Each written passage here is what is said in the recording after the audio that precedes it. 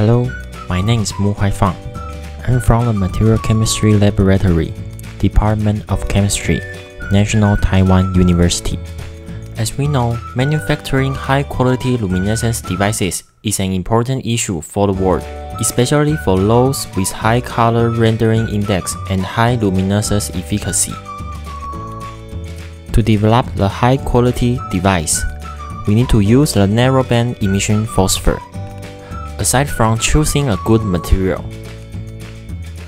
a good instrument to synthesize the phosphor material is also an important issue. So, today I would like to introduce the HIP system, which is the instrument behind me. The full name of the HIP system is hot isostatic press, which is usually used to reduce the porosity of metal materials and increase the density of ceramic materials. It can provide up to 2000 degrees C and 2000 atm gas pressure during the reaction. For our experience, the HIP system can greatly improve the quality of the phosphor we synthesize. When we use the HIP system to synthesize the phosphor materials, it can help increase the particle size, increase the crystallinity, and also help suppress the evaporation of the light precursors.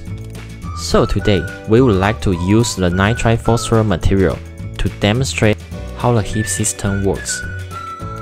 When we want to synthesize the nitride phosphor, we need to operate the synthesis process in the glove box because most of the nitride precursor is air sensitive.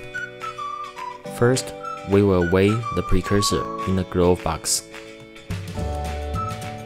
Then, use the agate mortar to mix and grind them to approximately 30 minutes. After well grinding, put the precursors into the boron nitride crucibles. Put the small BN crucibles into big BN crucible carefully. Then open the HIP furnace. Take out the heater of the HIP.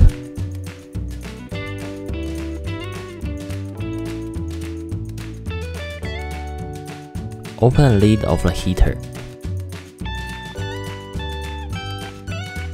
Take out the big boron nitride crucible from the glove box.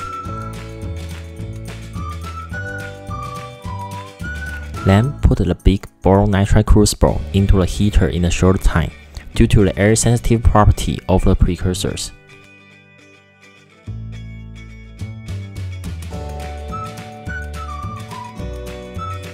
Then put the heater back to the HIP furnace.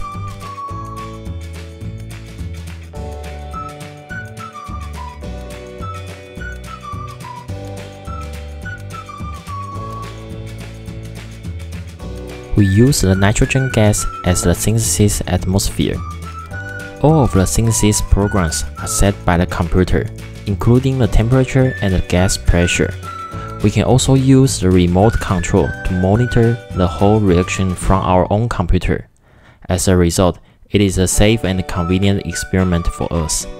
After cooling down, the as prepared product can be obtained. Hoping you have a brief idea about the HIP system. Thank you.